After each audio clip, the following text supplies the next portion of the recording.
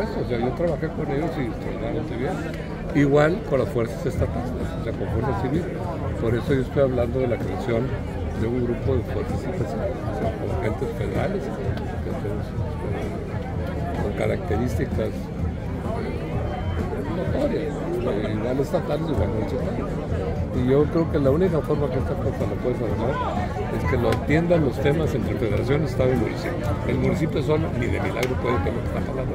En ese tema de seguridad, eh, ¿considera usted que hubo un retroceso de la Enorme, actual bueno, pues, administración? ¿cómo no? Que, se- que si considero, estamos en primer lugar, ya vamos en el doceavo, pues no es de considerar, es un dato. O sea, empinaron el tema de seguridad de esta administración.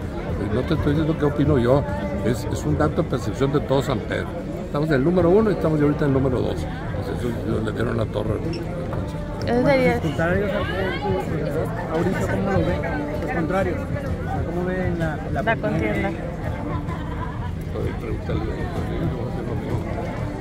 los demás muy candidato, y considera que ya una vez llegando este, que- y retomando la administración, ¿cómo sería la, la relación con el gobierno del Estado? Que ahorita hay mucha fricción entre Yo los tenido- municipios y el Yo nunca he Estado. tenido fricciones ni con el Estado ni con la Federación en toda mi vida.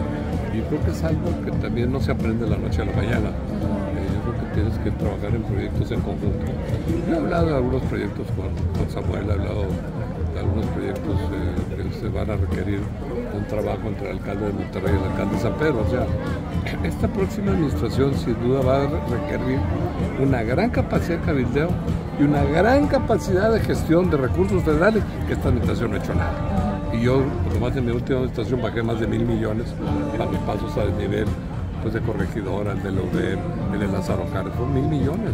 O sea, tienes que tener esa institucionalidad y para el país es importante pues, tener acceso a las cámaras de senadores, a las cámaras de diputados y contar con amigos que nos apoyen y nos ayuden, ¿no? Y además de tener una dedicarle un tiempo a gestoría.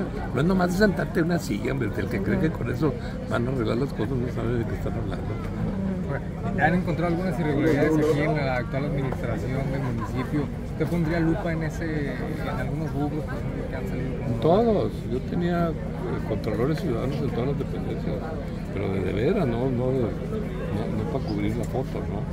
Este, y yo creo que fui el primero a nivel nacional con controladores en, en- en adquisiciones. O sea, si un controlador ciudadano no estaba de acuerdo en la propuesta, no se pasaba. O sea, tenía derecho de voto, sí tenían derecho de veto. Y para mí fueron muy valiosos. va, va, va